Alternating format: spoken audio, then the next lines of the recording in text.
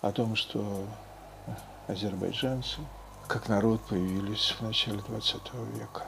Читаю комментарии. Столько раз вы в своих постах, в своих видео, в своих заметках, в соцсетях повторили эту мысль, братья армяне, что я вот уже не знаю, это излечимо или нет.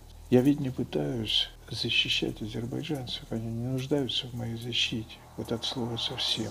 Я хочу защитить остатки вашего здравого рассудка. Но если народ, который назвали татарами, решил взять имя земли, на которой он живет, земли известных древних времен, я вам это не раз показывал, это совсем не молодое название земли. Зем... Э, название решил он взять, которое ему может больше нравится, может больше подходит. Но не важно по какой причине. Но ведь это не значит, что в этот момент народ, который называли татарами, исчез и появился на его месте новый, другой народ под названием азербайджанцы. Но вы в своем уме, но вы же это всерьез говорите, понимаете? Вот что страшно. Вы всерьез это заявляете. Это не такая не шутка, не сарказм. Вы серьезно говорите об этом друг другу, везде пишете. Вот если человек, допустим, в 30 лет решил поменять имя. Это же не значит, что этому человеку теперь уже не 30 лет, а ему пошел только первый год.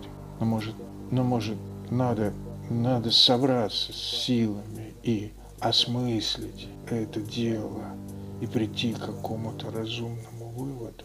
Вам самим не страшно от идиотизма э, самой этой мысли, которая ее можно уже на флаге на армянском писать, понимаете? Она настолько уже характеризует наш народ, неотъемлемая черта нашего народа. Вот ты армянин? Так, а скажи, вот ты считаешь, что азербайджанцы появились в 20 веке? Да, считаю. Ну все, значит, ты настоящий армянин. Но вдумайтесь, вам не страшно, что вами управляют блогеры, которые вот задувают в уши вам вот такой абсурд. Но я надеюсь очень, что вам страшно. И станет, наконец, страшно настолько, что вы освободитесь от этого всего. Подпишитесь на канал, ставьте лайки и комментируйте. Спасибо.